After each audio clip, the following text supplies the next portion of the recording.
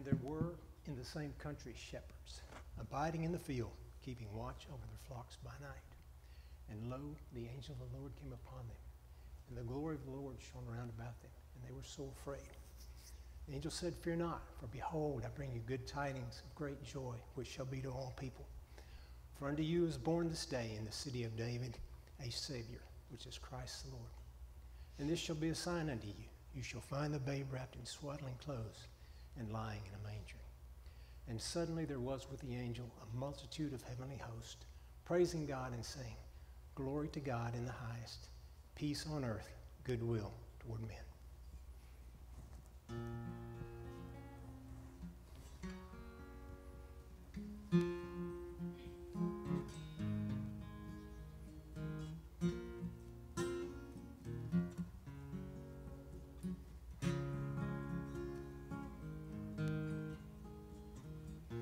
Had to be a reason why that star rose in the east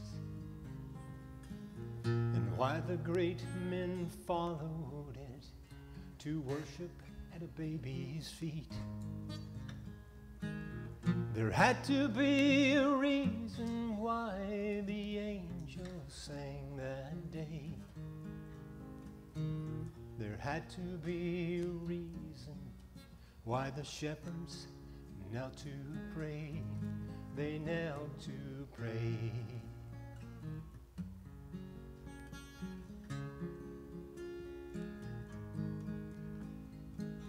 There had to be a reason for those ancient prophecies. He'd be called Wonderful Counselor. He'd be called the Prince of Peace.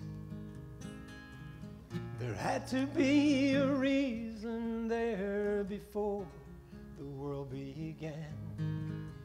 He decided to leave his home above and to live here as a man, as a man.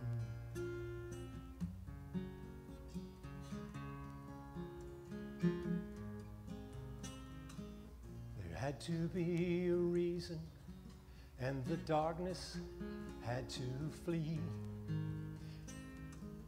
He would, in the reign of death, become the light the world could see. There had to be a reason for that cross they led him to. There had to be a reason, and that reason, it was you. He came for you.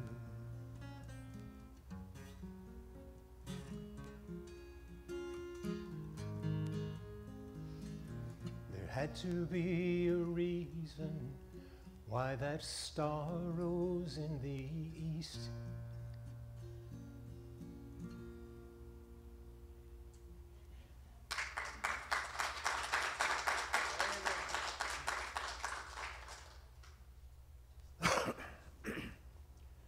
Thank you, Kevin, and Just want to say, Kevin just wrote that song and shared it with us. He just wrote it. he just wrote. Whoa. Well, wow. Thank you, Kevin. Double thanks. Man. And thank you, Beverly and Brenda, for leading us in worship.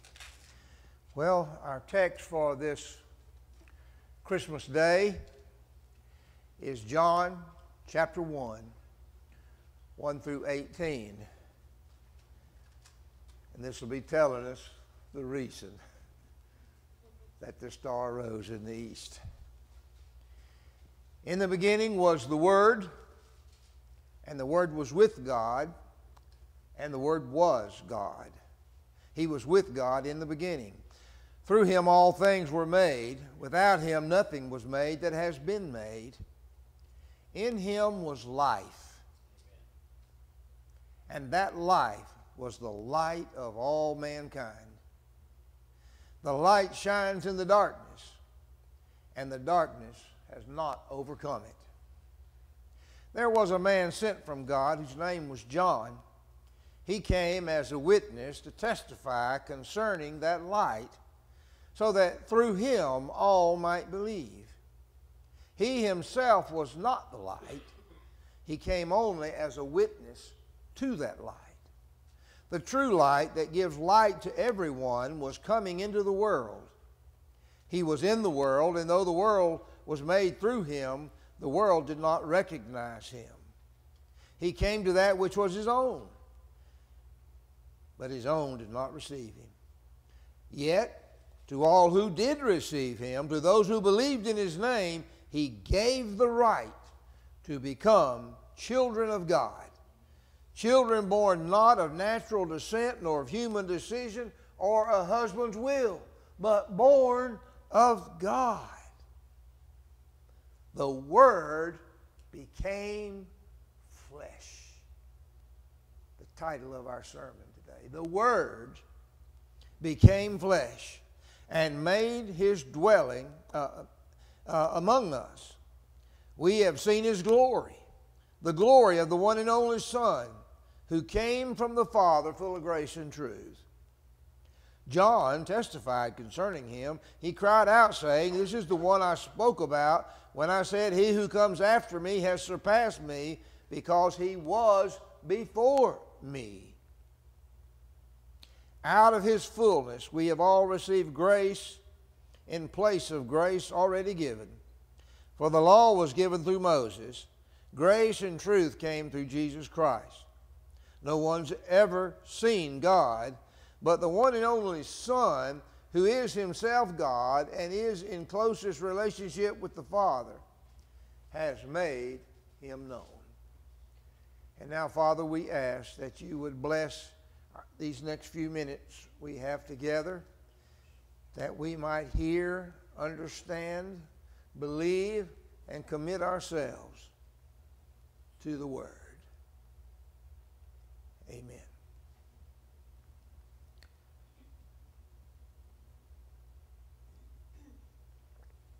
I think that most of you have heard my testimony. I don't have time to give it all today, but I want to just kind of outline it for you. On August the 29th, 1980, something happened to me which radically changed my life. That day marked the end of a two year struggle that had virtually destroyed my life. For some time prior to that date, I had been relaxing in the comfort of a successful law career, a picture perfect family, and a wealth of friends and social acquaintances. During the course of that two year period of time, my eight year old daughter was killed uh, in an accident. Uh, two years to the date after that, my best friend died suddenly without any warning at all. And two months following that, my first wife divorced me. Rather suddenly, my success and comfort was turned to near unbearable grief, despair, and hopelessness.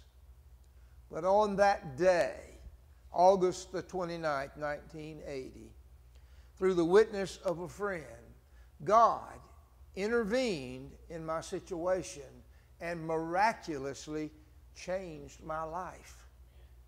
The circumstances did not change. My daughter was still dead. My best friend was still dead. I was divorced.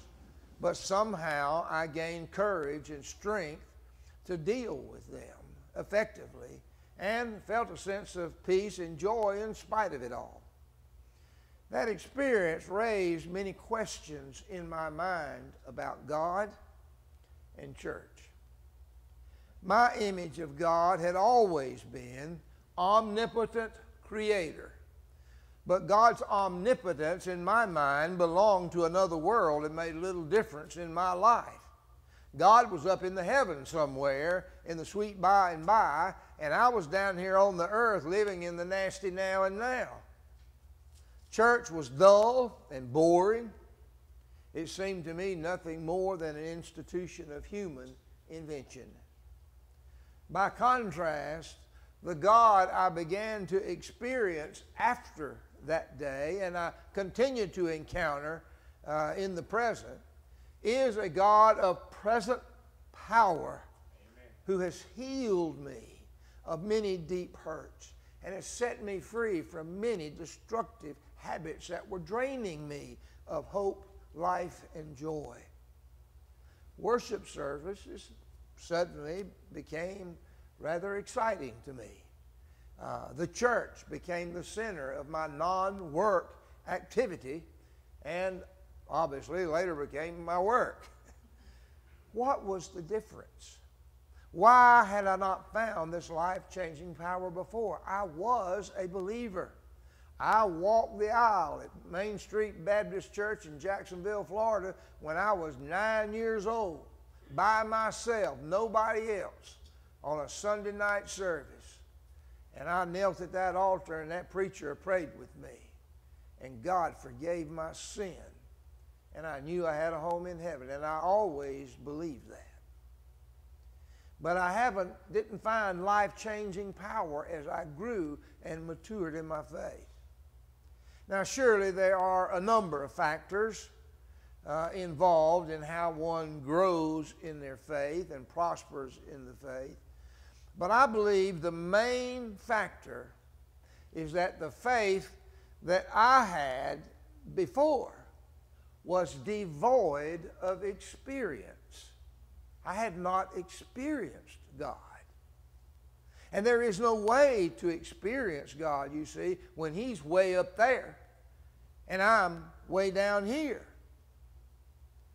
John Wesley, who is the founder of Methodism, uh, once received a letter from a friend asking him about a mutual acquaintance that lived in Wesley's town. He lived in London.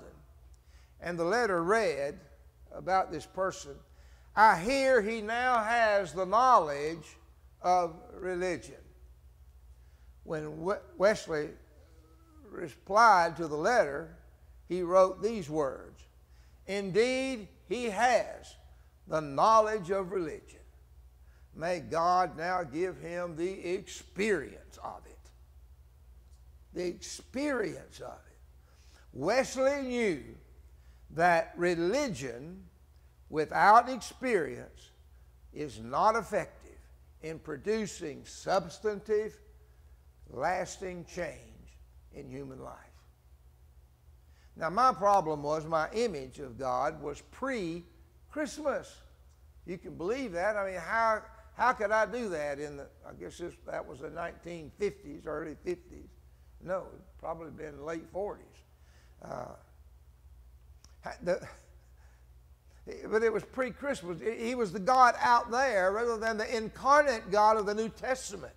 He was not the Word made flesh in Jesus Christ. It was not the God who entered and remains in the course of human history, who makes his power available to us to transform our lives and bring about change in the world.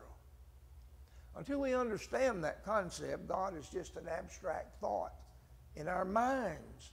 The Almighty, incomprehensible being who lives up in the clouds somewhere. Christmas is God becoming actual. The eternal Word became flesh and entered the dimension of human experience and history.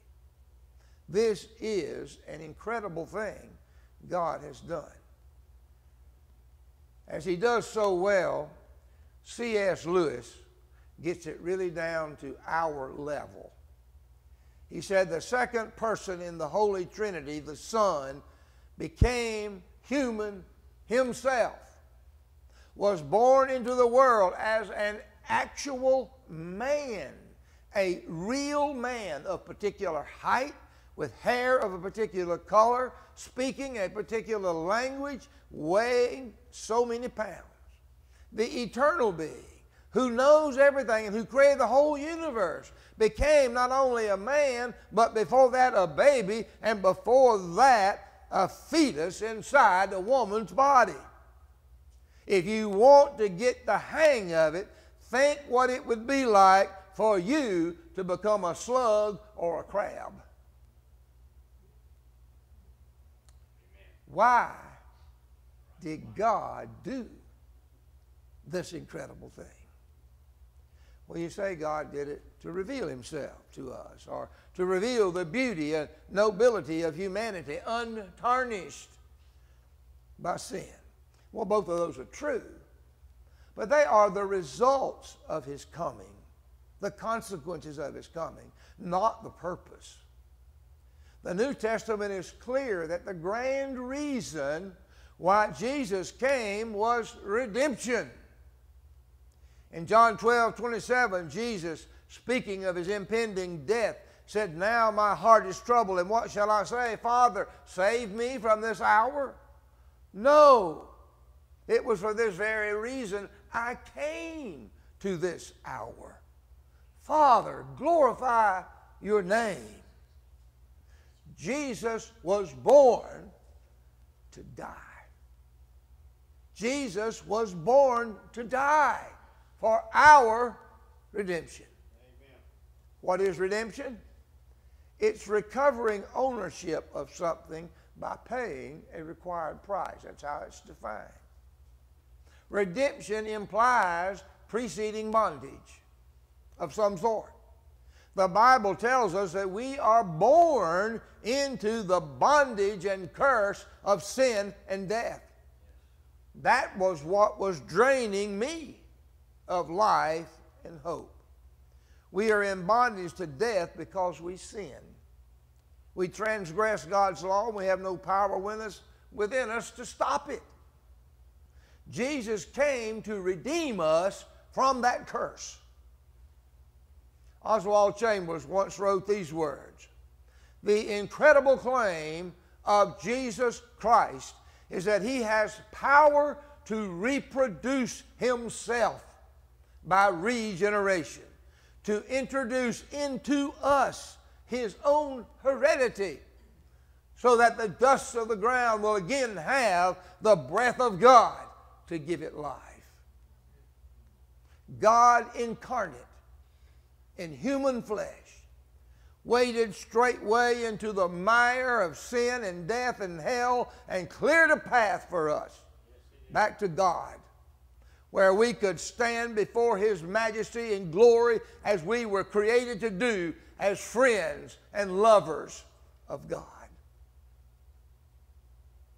The eternal Word, the creator of all things, became the weakest thing in creation a little baby. So majestically small, most of the world never saw him. In fact, sadly today, still, many in the world cannot see him, do not see him.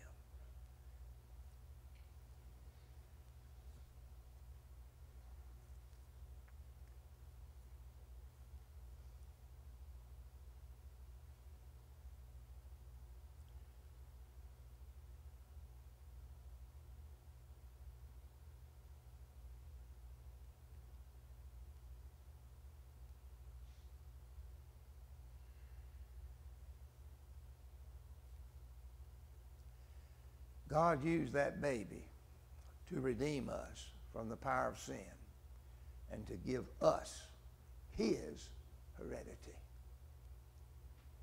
God looked around somewhere for Jesus to be born. Where was it? In Bethlehem. But you see, he's still looking around. Amen. He wants your heart to be a Bethlehem. Amen. He wants Jesus to be born in you. God made him, Jesus, who had no sin to be sin for us, that in him we might become the righteousness of God. With that righteousness comes the power of God, so that even the, even the weakest one among us can become more than a conqueror. That's the promise of God's Word. Paul wrote these words in 2 Corinthians chapter 15, verse 19. If only for this life we have hope in Christ, we are to be pitied more than all men. Now, Paul was trying to get the church of his time to remember that the ultimate purpose of God and thus the foundation of our life is the future reconciliation of all things to God to that place we call heaven or eternal life. It seems the first century church was so focused on the present life and what God was doing among them. That, miracles were happening, incredible things happening.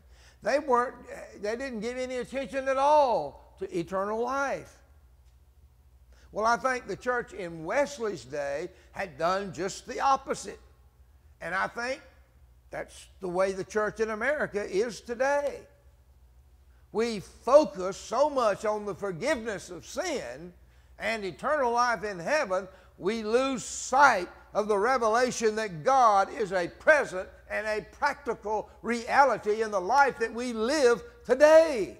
And He is Emmanuel, God with us not only with us, but in us. The eternal Word of God became flesh in Jesus Christ. When Jesus went back to heaven, the Spirit of God was poured out on all flesh on the day of Pentecost. God is not out there somewhere. He lives with us and is in us. To all who received him, the text said to those who believed in his name. He gave the right to become children of God, children born not of natural descent nor of human decision or a husband's will, but born of God by the Spirit of God. Do you not know that your bodies are the temple of God? Yes. The dwelling place of God. That means that God is in this very room. Think about that. Last night, Kevin sang uh, that wonderful song, Mary, Did You Know? And every time I think of that song, I remember the first time I heard it. I think we were singing it in a choir in the Gateway. And I, and I read those words. Mary, did you know when you kissed your little baby, you kissed the face of God? But listen, God is in this very room. God can be experienced. Yes. Amen. You can know in your heart that God is with you. If we could just get hold of that one truth and believe it, or better, let that truth get hold of us, it changes everything. It changes us. It changed me and countless millions of others who will give their testimony that since I met Jesus, Things have changed. Things are different. Would you pray with me, please?